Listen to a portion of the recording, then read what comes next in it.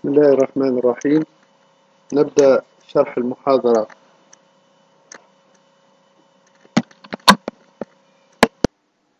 في مادة الإلكترونات ومحاضرة اليوم بعنوان آه،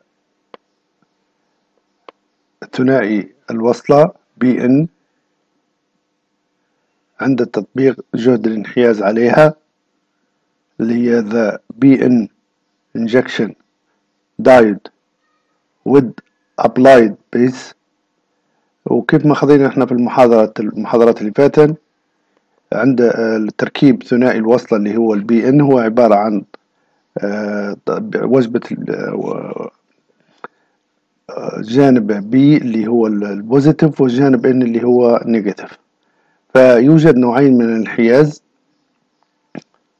هما انحياز أمامي forward base والذي يكون عنده جهد منطقة B موجبا بالنسبة إلى N وانحياز العكسي اللي هو reference والذي يكون عنده جهد المنطقة B سالبا بالنسبة للمنطقة N وسوف نتناول هذا الجزء من الدراسة من الانحياز النوعين اللي هو انحياز أمامي وانحياز عكسي.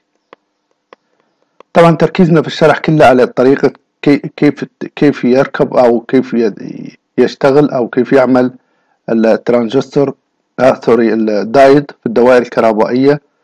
آه عند توصيل أو عند توصيل الدايد ثنائي الوصلة اللي هو PN نوع PN بالبطارية بحيث يكون الجزء P متصل بالقطب الموجب للبطارية والجانب N متصل بالقطب السالب للبطارية كما هو موضح من الشكل هذا.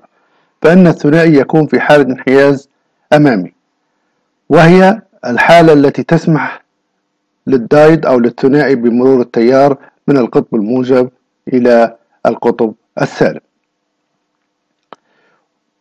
وفي هذه الحالة تتنافر الإلكترونات اللي هو الجانب N موجود فيه الكترونات مع القطب السالب اللي هو شحنته سالب والإلكترونات شحنتها سالبة تتنافر مع بعض البعض. والجانب P شحنته positive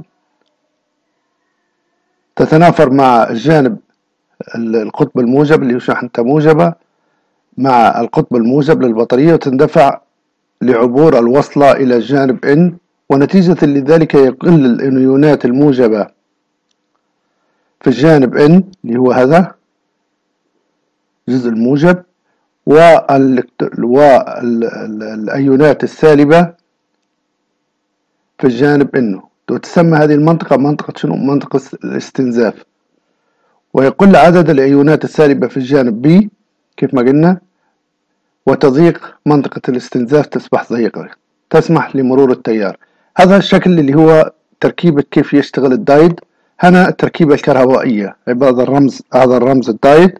هذا القطب الموجب اللي هو أو نود وهنا اللي هو رمزوا له بحرف A وهنا الجزء السالب اللي هو cathode ويرمزوا له بحرف شنو؟ K. وهنا يوريني إن IF طبعا رمز لل forward forward current اللي هو التيار الأمامي والتيار كما هو موضح إنه هو يدخل من القطب الموجب إلى القطب شنو؟ السالب. هنا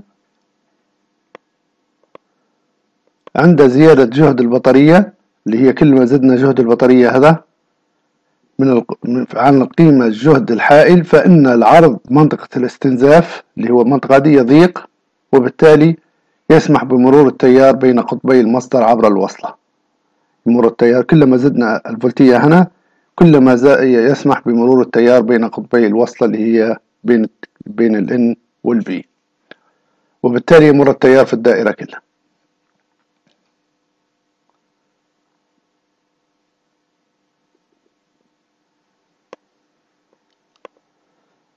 مما سبق لنا أن الثنائي يكون في حال انحياز أمامي فأن الإلكترونات سوف تنتشر من المادة N إلى المادة B كما أن الفجوات اللي هي الموجبة سوف تنتشر من النوع B إلى النوع N ونتيجة لهذا الانتشار تضيق شنو؟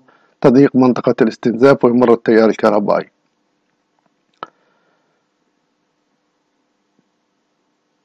ونتيجة لهذا الانتشار حاملات الغالبية للتيار ولها وله مركبتين. الأولى هي مركبة ناتجة عن انتشار الإلكترونات وأخرى الناتجة عن انتشار الفجوات اللي هي ناتجة عن الإلكترونات اللي هي سالبة والفجوات اللي هي موجبة تزداد شدة التيار بالوصلة بزيادة قيمة شنو؟ الجهد الأمامي.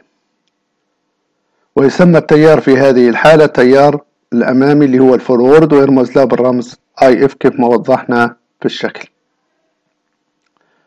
ويمكن تمثيل ويمكن تمثيل جهد بالشكل هذا يمكن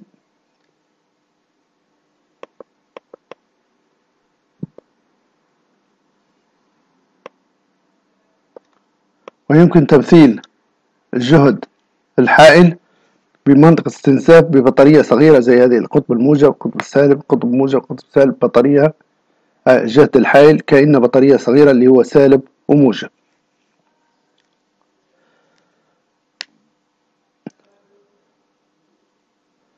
لها قطبية عكس قطبية الجهد المطبق في حالة انحياز أمامي. وبالتالي يمر التيار عبر الدايد.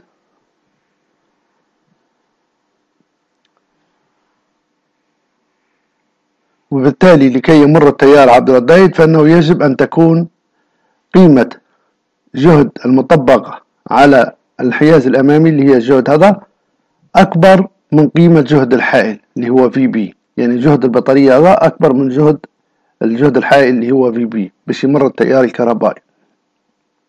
وتختلف قيمة جهد الحائل باختلاف نوع الثنائي. ففي حالة السيليكون تكون point سبعة وفي حالة الجرمانيوم يكون point ثلاثة. وعندما يكون الثنائي اللي هو الشكل هذا عندما يكون الثنائي في حالة نرجع للخلف؟ عندما يكون الثنائي في حالة توصيل فإن قيمة الفقد في الجهد على طرفيه تساوي تقريبا قيمة جهد الحائل. ويمكن إهمال قيمة الفقد في المقاومة الثنائية وذلك لصغر مقاومة RB و RN اللي هي المقاومة المقاومة الموجودة في الجزء N والمقاومة الموجودة في الجزء نوضحوها بالرسم معلش. المقاومة الموجودة هنا RN و RB يمكن إهمالها لأنها صغيرة جدا ويوضع مقاومة في أي دائرة كهربائية فيها دايد للتحكم في التيار. للتحكم في التيار المار في الدايد ونظرا لأن مقاومة الثنائي في حالة انحياز أمامي والتي تمثل مجموع المقاومتين Rn و Rb وتكون صغيرة جدا كما حكينا فإنه يجب أن توصل مقاومة على التوالي مع الثنائي وذلك للحد من قيمة التيار المار في الدائرة.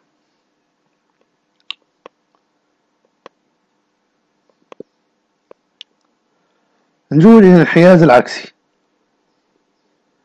الانحياز العكسي عند توصيل الوصلة بي إن بالبطارية بحيث يكون الجانب بي للثنائي متصل بالقطب السالب للبطارية والجانب إن للثنائي متصل بالقطب الموجب للبطارية كما هو موضح في الشكل اللي هو عكس التوصيل بتاع في حالة انحياز أمامي. هنا الموجب متصل بالقطب السالب والسالب متصل بالقطب الموجب.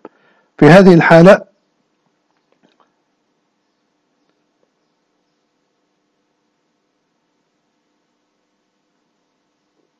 وفي هذه الحالة تنجذب الإلكترونات الإلكترونات في الجانب N اللي هي موجودة هنا إلى الوصلة نوع B اللي هي الإلكترونات الموجودة في الجانب N تنجذب لأن هذه موجبة تنجذب إلى الوصلة نوع N اللي هو هنا الإلكترونات اللي هي سالبة أو والأيونات الموجبة الموجودة في الجانب B تنجذب إلى الجانب إن اللي هو هنا. فتتسع منطقة شنو؟ الاستنزاف الاستنزاف تصبح واسعة. هنا في هذه الحالة تنجذب في هذه الحالة تنجذب الإلكترونات في الجانب N إلى القطب الموجب للبطارية وتتباعد عن الوصلة بينما الفجوات اللي هي موجبة في حالة الجانب B إلى القطب السالب للبطارية ومتباعدة أيضا عن الوصلة. وبذلك يزداد عدد الأيونات الموجبة إلى الجانب N من منطقة الاستنزاف وعدد الأيونات السالبة إلى الجانب B من منطقة الاستنزاف ونتيجة لذلك يزداد عرض منطقة الاستنزاف كما حكينا وتزداد شدة المجال الكهربائي اللي هو هنا. في الرسمة أوضح. أو أيونات الموجبة تنجذب من هذا من الجانب B إلى جانب N والأيونات السالبة من الجانب N إلى الجانب B وتتوسع أو تزداد عرض منطقة الاستنزاف. ويزداد شدة المجال الكهربائي بمعنى يزداد الجهد في منطقة الاستنزاف. ونتيجة لهذه الزيادة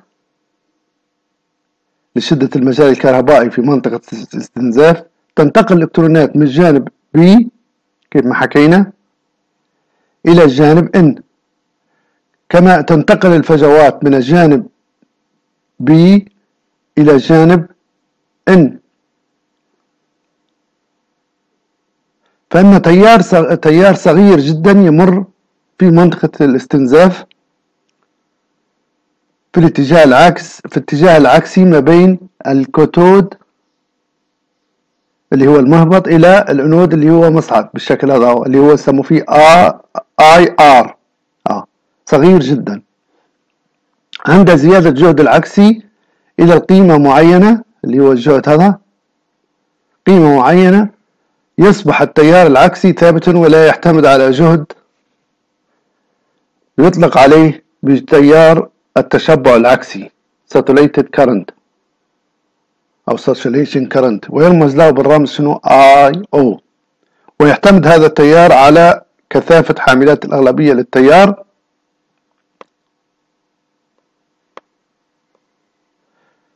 ونظرا لأن حاملات الأقلية للتيار تعتمد على نسبة الشوائب الموجودة أو المصنوعة منها أشباه الموصلات على درجة نسبة الشوائب تعتمد على درجة الحرارة وحيث إن نسبة ثنائي ثابتة فإن درجة الحرارة تشكل عامل أساسي في تحديد قيمة التيار العكسي في الثنائي.